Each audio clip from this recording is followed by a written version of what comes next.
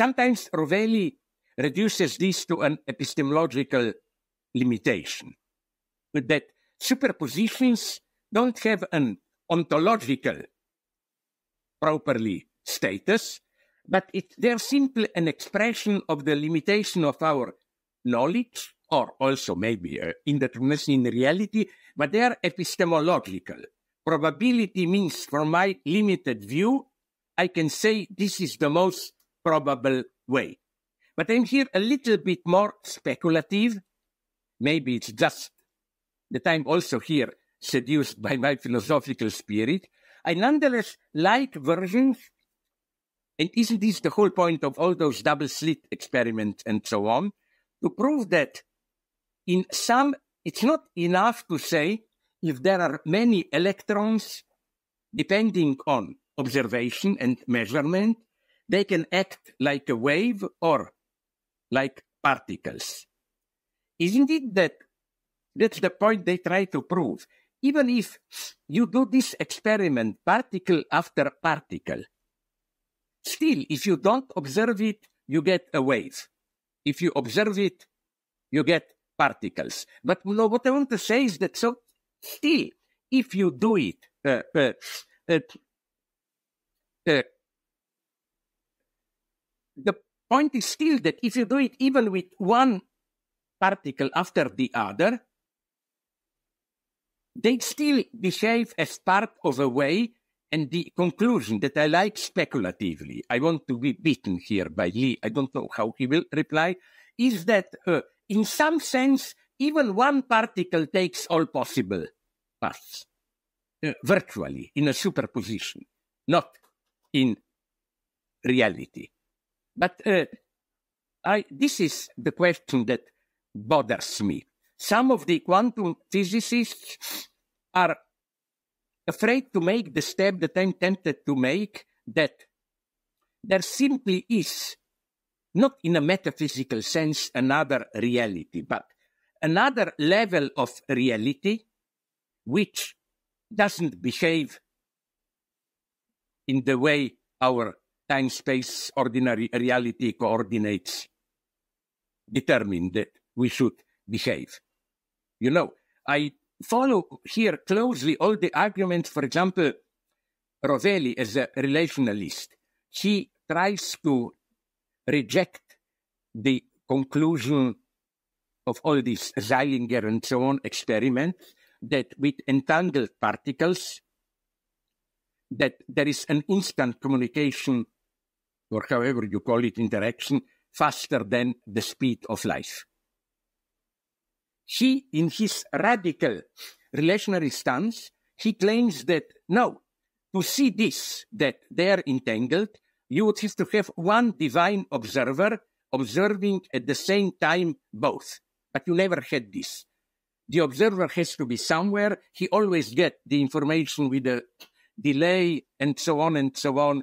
But again, it, you now, in a good sense, ruined my enjoyment a little bit because uh, uh, you know, I was so glad discovering how deep quantum uh, physicists are in philosoph uh, philosophical speculations, and then you told me basically, yes, but they are already doing philosophy in their own way. No, it's not this nice surprise that you see.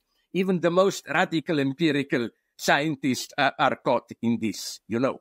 But in, in that sense, you know what would have been my counter argument to you? But didn't even uh, even uh, Einstein and Bohr, in their crucial revolutions, they were not simply empirical scientific thinking. There was always a moment of philosophical, properly philosophical thinking, because you know what Einstein did concerning time, space, relativity, blah blah, passage from uh, uh, uh to to uh, global general relativity. What he saw, and this is a philosophical insight, is that we have to change the meaning of what temporal distance means, temporality, time, space, and so on. You see, this is, you don't just measure time. At the same time, you discover that you have to redefine what time is, what space is, and so on and so on, you know. And that's why I'm so passionate about it. But I'm silently resigned to the result that this all will not uh, end well for me in the sense that, you know, I don't think I will make a mega breakthrough. I'm much more modest here. I just would like to.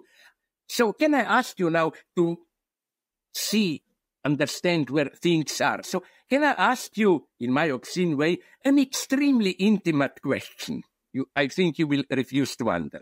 Don't be afraid, not about your sex life or what, but simply where do you stand? Do you have a position or you prefer, as an, as it were, observer, you have debates, not to limit yourself too much?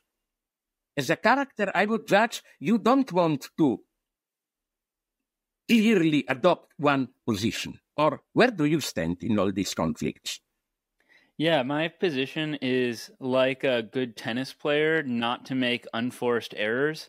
So because I don't understand the physics well enough, I like to I, we are the same here. Yeah, making judgments. But unlike you, I have this deep intuition, and intuitions are not worth very much, especially but when you're as uninformed as I am. Sometimes they are the best thing that happens. Yeah, but that mm, a lot of the issues you're pointing to are epistemological rather than ontological, as you put it. Yes, but my point, the whole point of my effort, is to show how what may appear an epistemological issue really is ontological. That that this is, if you want my what I'm looking in quantum physics, if you want it in one sentence, is that what appears an epistemological limitation is already an ontological feature of the thing itself. Isn't this the whole point of superpositions, indeterminacy, and so on? That it's not just epistemological. Contingency that it's in the thing itself. But now, that's why I look forward also to the debate with Sabine Hossenfelder, because I know that she is the super determinist, you know. But it's a nice idea but then at least I followed some debates with her when you push her closer at what she means by super determinism, it gets a little bit unclear to me.